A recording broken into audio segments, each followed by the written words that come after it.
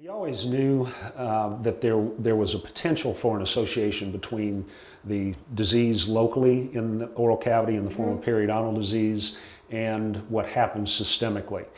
And we could see that because once we would treat our patients and they'd go home, they'd feel so much better. Probably a lot of that had to do with the fact that they weren't uncomfortable, but maybe even more so because the bacteria not only stays locally, it also is mobilized into the systemic system through the bloodstream and it's carried to the kidney and the liver and the heart and the lungs.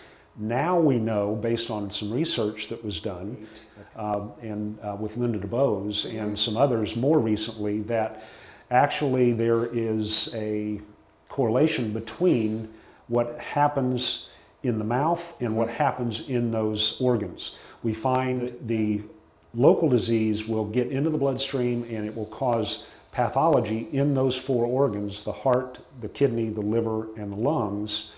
And comparing that to patients that don't have periodontal disease, it's pretty significant. So we know that the local disease can affect them systemically.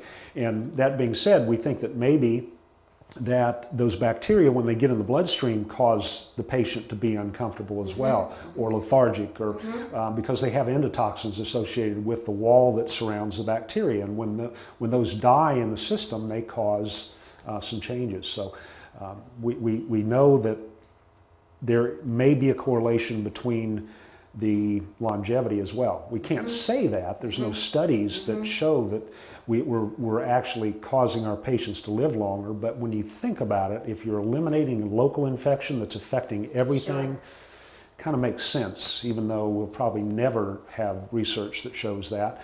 Uh, it, it, it just makes sense from a theory standpoint.